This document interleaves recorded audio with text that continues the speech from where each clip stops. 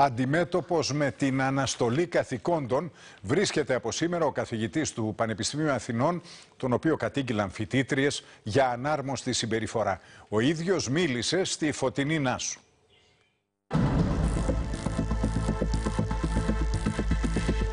Φοιτητές και φοιτήτριες του Τμήματος Επικοινωνίας και Μέσω Μαζικής Ενημέρωσης του Πανεπιστημίου Αθηνών γράφουν αντισεξιστικά μηνύματα στην πόρτα γραφείου καθηγητή, τον οποίο καταγγέλουν για σεξουαλική παρενόχληση, διακρίσεις και εκφοβισμό ζήταγε φωτογραφίες με μαγιό ή και selfie με το πρόσχημα ότι χρειάζεται ταυτοποίηση για κάποια μαθήματα mm. και φωτογραφίσεις στο χώρο της σχολής ζητούσε.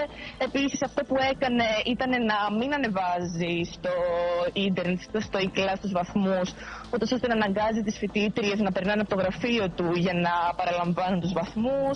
Όπως λένε στον Αντένα, αυτά τα περιστατικά με πρωταγωνιστή τον ίδιο καθηγητή γίνονται από το 2010. Πρόσφατα όμω, το κίνημα Μητού όπλησε με σθένος, όπως λένε αρκετά μέλη της φοιτητικής κοινότητας, ώστε να προβούν σε επίσημες καταγγελίες. Στα μαθήματα που κάνει, τα οποία είναι συνήθως οπτικοακουστικού περιεχομένου, ε, να έχει σχολιάσει, ας πούμε, σε εργασία για παράδειγμα τον μπούστο ή οτιδήποτε και όπως γίνεται κατανοητό αυτό ήταν προαπαιτούμενο για να περαστεί το μάθημα.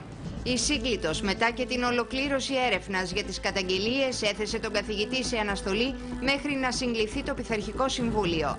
Ο ίδιος μιλώντας στον Αντένα λέει ότι δεν έχει γνώση της έκτασης των καταγγελιών. Δεν είμαι διατεθειμένος να απαντήσω σε φήμες. Στέκομαι υπομονετικός μέχρι να μάθω γιατί κατηγορούμε. Δεν γνωρίζω το κατηγορητήριο, ούτε το πόρισμα της ένορκης διοικητικής εξέτασης. Στη μία το μεσημέρι παρέλαβα απόφαση της συγκλήτου να απέχω από τα καθήκοντά μου μέχρι νεοτέρας.